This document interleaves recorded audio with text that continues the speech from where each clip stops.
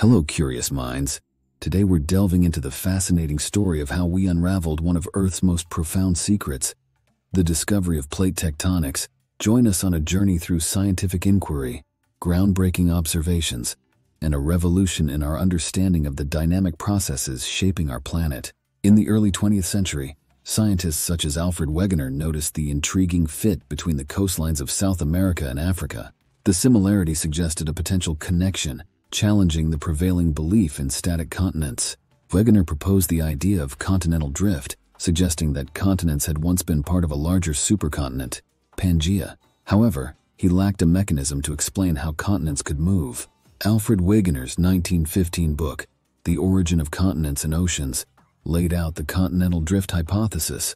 He pointed to geological and paleontological evidence, including identical fossils on continents separated by vast oceans, to support his claims. While Wegener's ideas were met with skepticism, they sparked interest in the concept of dynamic Earth processes. Geological similarities in rock formations supported the idea of continental drift. However, Wegener lacked a mechanism explaining how continents could plow through oceanic crust. During World War II, advancements in sonar technology designed for submarine warfare inadvertently transformed our understanding of the ocean floor. The mapping revealed mid-ocean ridges, deep-sea trenches, and a vast underwater mountain range, the Mid-Atlantic Ridge.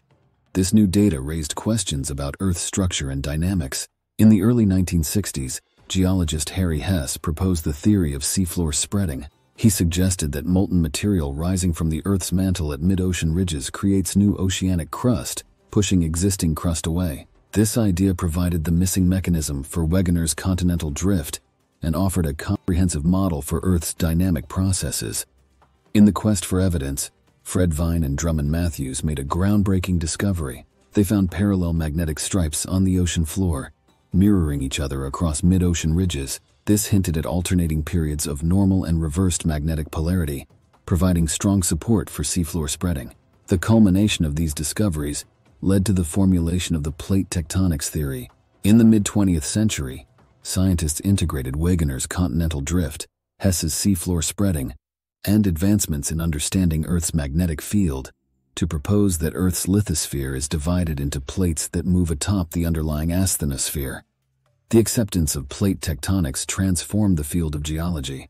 It explained earthquakes, volcanic activity, and the distribution of mountains and ocean basins. The theory provided a unifying framework for understanding diverse geological phenomena and offered insight into Earth's history and future.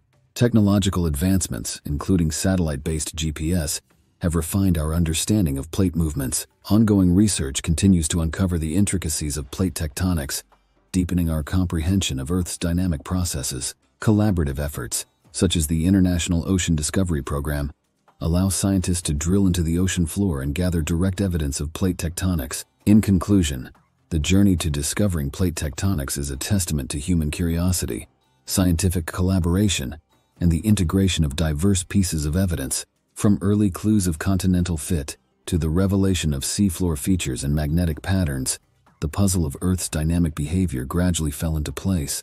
Plate tectonics is now a cornerstone of Earth science, enriching our comprehension of the dynamic forces that shape our planet. If you enjoyed this exploration into scientific discovery, don't forget to like, share, and subscribe.